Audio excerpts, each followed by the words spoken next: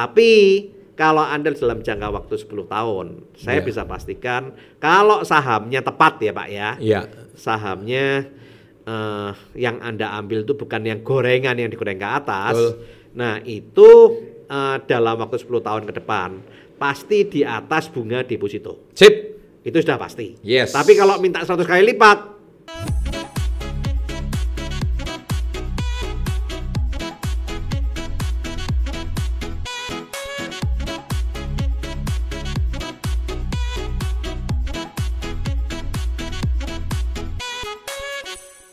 Henry, total kekayaan minimal 10M baru bisa financial freedom tinggal di Jakarta. Rumah dan kendaraan kurang lebih 2M. Deposito saham obligasi emas 2M. Dana darurat. Aset properti untuk sewa 2M. Sisanya buat kebutuhan sehari-hari, liburan satu kali per tahun, 20 juta per bulan keluarga satu istri dan satu anak sampai lulus kuliah. Bikin tips dong kalau ada duit 1M bagi seseorang yang sedang merencanakan untuk berkeluarga 2 sampai 3 tahun lagi dan baru akan menikah kurang dari 3 tahun, apakah mending dibeliin rumah atau modal usaha?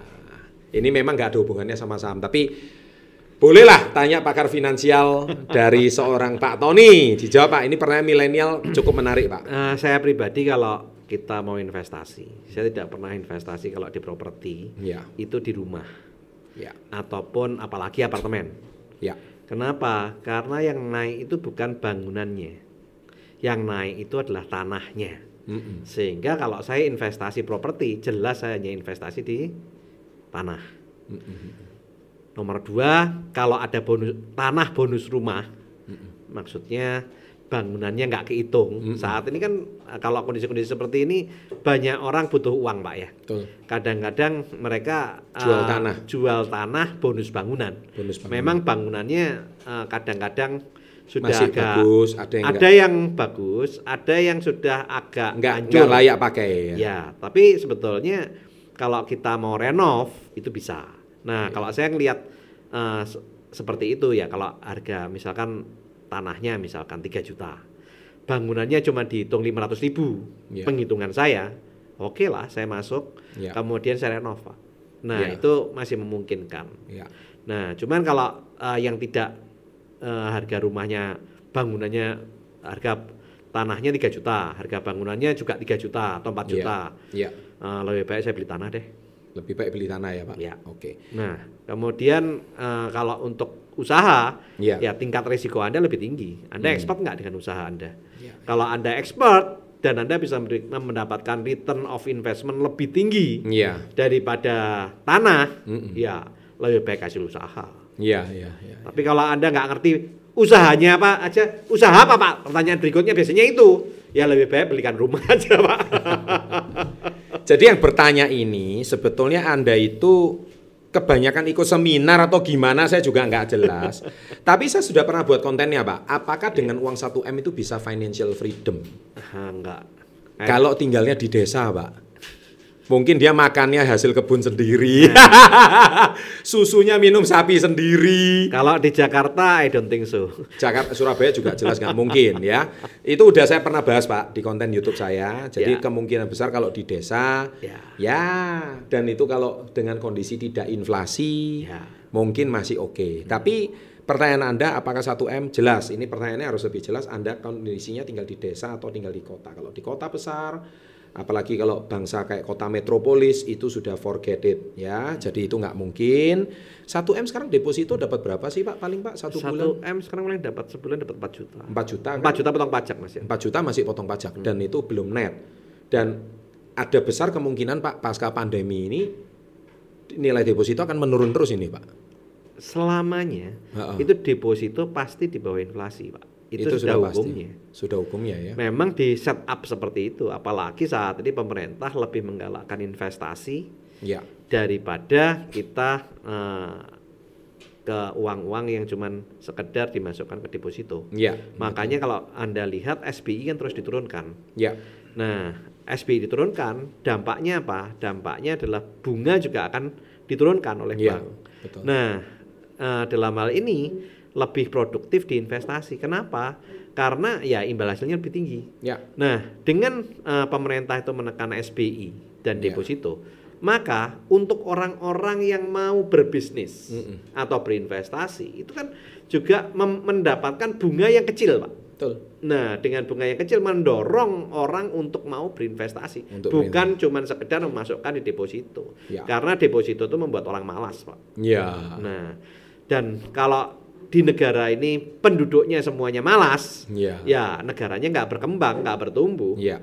Eh, lupakan kalau kita eh, walaupun saat ini katakan bonus demografi banyak orang yang produktif dibandingkan orang-orang yang eh, Sudah pensiun tua, ya. atau masih anak-anak yang dikatakan itu sebuah keunggulan di Indonesia tapi itu akan menjadi bumerang saat eh, apa namanya para pemuda yang harusnya produktif ini menjadi bermalas-malasan Pak. Ya. Nah, jadi kontraproduktif. Ya. Nah, makanya sama pemerintah dengan kondisi ini ditekan. Semua negara-negara yang maju, Anda cek semuanya. Pasti. Pasti, bunganya rendah. Tidak ada yang bunganya Jepang tinggi. saya dengar malah katanya sudah 0% katanya. Iya. Kalau di Jepang kecenderungannya deflasi, Pak. Deflasi malah. bukan inflasi. Nah, itulah sebabnya guys, oleh sebab itu pertanyaan Anda saya jawab, udah saya jawab di video saya, tolong cari video saya apakah 1M itu bisa bebas finansial dan pertanyaannya menurut saya Anda tadi eh, 10M kalau Anda mungkin bisa bebas finansial sekarang, apa sih definisi bebas finansial? Definisi bebas finansial itu kan kebutuhan hidup kita, gaya hidup kita dibiayai oleh pasif income kita toh, Pak. Iya. Itu namanya bebas finansial. Jadi artinya memungkinkan kita untuk tidak bekerja Saat ini mungkin Anda bisa bebas finansial. Ha-ha. Saat ini. saat ini. Tapi kalau Anda cuma taruh deposito, Iya, ya kita lihat aja 5 10 tahun ke depan. Bisa nggak Anda bisa bebas finansial? sangat tidak memungkinkan. Iya. Apalagi dengan inflasi yang sangat tinggi. Dan saya khawatir, Pak, yang bertanya ini Masih single, Pak. itu eh, bukan duitnya pun 10 miliar bukan duit pribadi, Pak. Ah, Itu warisan dari orang tua. Nah, Nah, itu yang saya khawatirkan eh, orang yang bertanya ini kecenderungannya malas, Pak. Semoga eh, Salah. pemikiran saya salah ya. Iya. Tapi kalau memang betul-betul Anda kepingin malas, come on guys. Ini kalau Anda ingin ingin sukses, ya kalau Anda malas, nggak ada ceritanya Anda akan bisa Sudah telurnya habis, gitu. ayamnya dipotong pula ini, Pak. Iya, saat nanti. Anda sudah berkeluarga, akhirnya anak beda. Anda yang sengsara gitu karena kemalasan Anda. Ya. Itu Anda menjadi menggenapi yang katanya roda berputar. Betul. Sebetulnya menurut saya roda berputar itu eh, nggak sepenuhnya benar gitu. Karena kalau untuk orang-orang tua yang bisa mendidik anaknya pada kenyataannya banyak kok seperti keluarganya Pak Eka Cipta, Iya. keluarganya Pak eh, Sudono Salim. Sudono Salim. Sa- sampai saat ini nggak pernah berputar ke bawah, Pak. Selalu di atas, Pak. Kenapa? Karena mereka Edukasinya- diajarkan edukasi finansial yang baik. Baik. Jelas ya? Oke. Tutorial cerdas. Ini yang bertanya, nama akunnya. Pak Chandra, tolong beri pencerahan saya punya saham dan sudah profit. Rencana tujuan saya sebelum membeli saham, saya punya keinginan jika sudah untung, saya akan jual dan belikan mobil untuk modal usaha. Apakah itu langkah yang benar? Ya. Kadang-kadang memang kita itu bisa men ya yang Ini namanya- modelnya terbatas, Pak. namanya orang investasi pak ya Ya, kadang-kadang kan juga pingin nikmati Pengen ya nikmati. nah saat memang eh, di titik tertentu misalkan anda mau menarik 10% atau 20% Ya, ah. that's okay gitu loh nggak masalah tapi jangan 100% diambil pak Ya. terus berikutnya bagaimana anda merubah dari aset investasi menjadi aset liabilitas pak Iya. dan itu jelas konyol Iya. konyol. Ya. Kenapa? Yang satunya membuat uang naik, yang Ya. satunya membuat uang turun. Iya. Ya akibatnya apa ya? Ke depannya Anda akan kehilangan uang Anda. Betul. Oke. Nah, soalnya saya sudah buat planning ke depan untuk usaha. Please dibalas ya, Pak. Oke, itu jawabannya ya. Pertanyaan dari Ari Purwo Nugroho. Pak, caranya untuk menabung saham skala mahasiswa gimana ya, Pak? Ikuti KPM. aja. KPM kan sudah jelas. itu harga mahasiswa itu ya. Iya. Kita set up itu untuk mahasiswa kok. Justru kan channel ini kan kalau menurut Pak Chandra kan rata-rata Anak muda. anak muda. Nah, Iya. makanya kita ingin membuat anak-anak muda ini Hmm. bisa menata keuangan, bisa mulai menabung sejak dini. Ya. Zaifi Prayunda. Assalamualaikum Pak. Maaf, apakah masih bisa Pak untuk 100 juta 20 tahun bisa jadi 20 M? Dengan sekarang saham BCA sudah di harga tinggi Pak. Iya. Kembali lagi tergantung daripada kinerja perusahaan. Iya. Kan saya membahas itu dalam kondisi eh, saat ini. Iya. Dan kinerja BCA itu adalah 20 tahun yang lampau. Iya.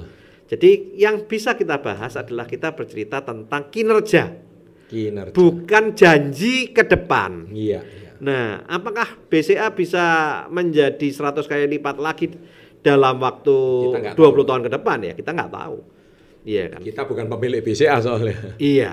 Pemilik BCA pun juga tidak tahu, Pak. Nggak apakah tahu. terus growth? Iya kan? Nah, Dunia berubah terus tiap hari. betul. Iya. Apalagi eh, dalam dunia ekonomi eh, terjadi kenaikan dan penurunan itu bisa cepat sekali, Pak. Iya. Kemarin dengan hari ini beda, Pak Sdan. Kebetulan saat ini kita lagi eh, pas syuting ini kan kemarin Pemilihan pemilu Amerika. Amerika, Nah, ya. Kemarin apa namanya eh, saham memerah. Ya.